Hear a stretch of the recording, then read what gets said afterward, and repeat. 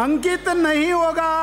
आपका समय चालू है। माननीय सभापति महोदय, मुझे आप मांग संख्या 50 और मांग संख्या 55 में बोलने का मौका दिया। उसके लिए धन्यवाद।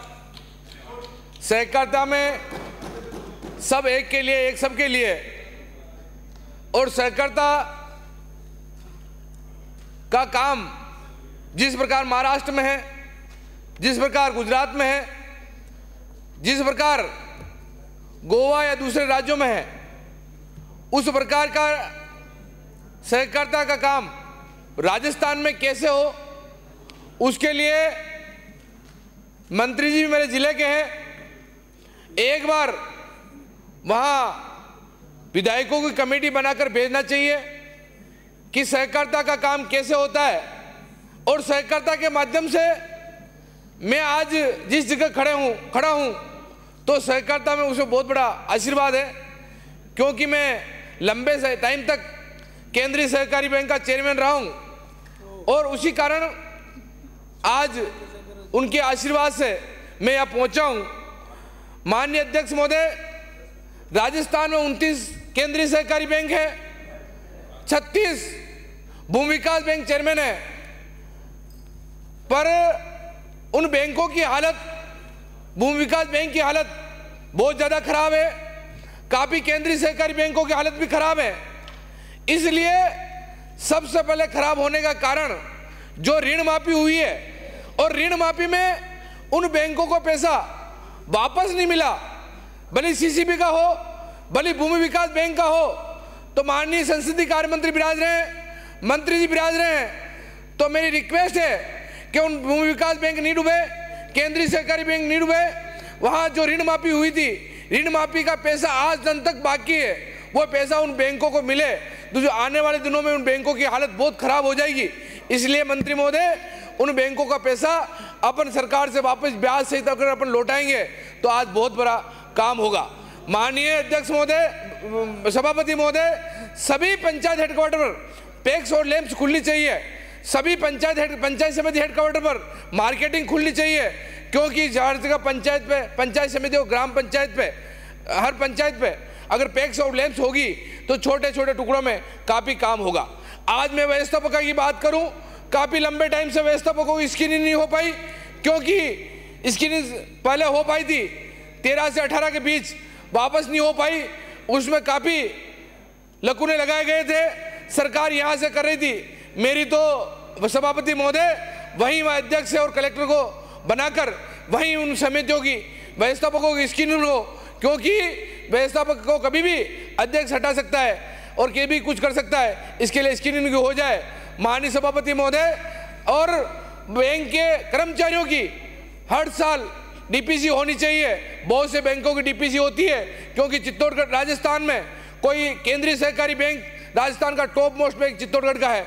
भूमि विकास बैंक भी, राजस्थान में भूमि विकास बैंक भी बहुत अच्छा है। इसलिए बहुत सी योजनाएँ चित्तौड़ के नाम से चलती है।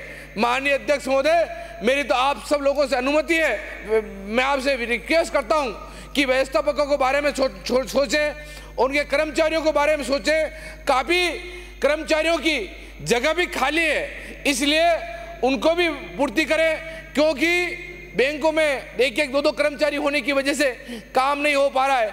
और बैंक तो ऑनलाइन हुए हैं। सहकारी समिति भी ऑनलाइन हो जाए, मार्केटिंग भी ऑनलाइन हो जाए, भंडार भी ऑनलाइन हो जाए, अगर ऑनलाइन हो जाएँगे तो अच्छा रहेगा। माननीय सभापति महोदय एसटी लोन में पहले डेढ़ डेढ़ लाख रुपए दे रहे थे। अभी डेढ़ लाख रुपए नहीं मिल रहे, पंद्रह पंद्रह बीस बीस हज़ार रुपए मिल रहे हैं। माननीय, उनको भी डेढ़ डेढ़ लाख रुपए मिले। पिछली सरकार ने, या पंद्रह पंद्रह हज़ार रुपए देकर वो बढ़ा दिए थे। इसलिए प्रत्येक किसान को डेढ़ डेढ़ लोन एस लोन हो और आज उनमें इंश्योरेंस नहीं हो रहा है।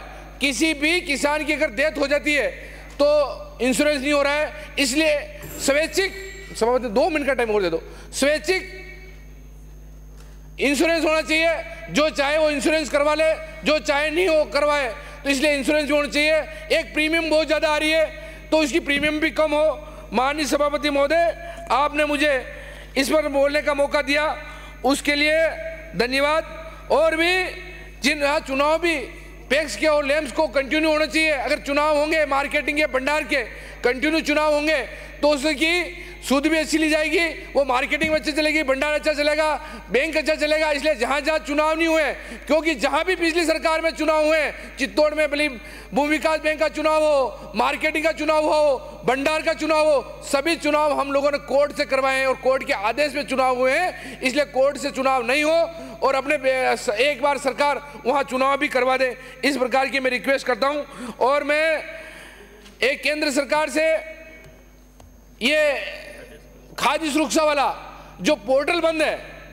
क्योंकि डबल इंजन की सरकार है हम सब क्योंकि हमारे सहकारिता मंत्री एक मिनट एक मिनट का समय और। सहकारिता मंत्री बहुत ही अच्छे अमित शाह जी हैं इसलिए पोर्टल भी चालू करें खाद्य सुरक्षा में अगर नाम जुड़ जाएगा। क्योंकि जिन लोगों की ज़रूरत है उनका खाद्य सुरक्षा में नाम नहीं जुड़ पाया जिनको ज़रूरत नहीं है उनके नाम जुड़ गया। इसलिए आप करें एक राशन डीलर का जो भी मानदेय तय करें। क्योंकि आज अपन नरेगा का जो आदमी उसको भी 400 500 रुपए देते हैं तो कैसे न कैसे उनका मानदेय तय करें तो ईमानदारी से काम करेंगे। माननीय सभापति एक मिनट का और। तो उनका मानदेय भी दे दें। एक ट्रांसपोर्टेशन में एक परसेंट दो परसेंट की चीज़ें होती है उसका भी ध्यान रखें। एक नई राशन दुकान है। माननीय सभापति महोदय आपके माध्यम से मैं अध्यक्ष को कहते मंत्री जी को कहना चाहता हूँ। मंत्री महोदय एक मिनट अर्जुन जी। मंत्री महोदय वहाँ प्रत्येक पंचायत में राशन की दुकान हो जाए एक गेहूँ और गेहूँ और जो राशन का सामान मिलता है उसकी क्वालिटी का ध्यान रखे। माननीय सभापति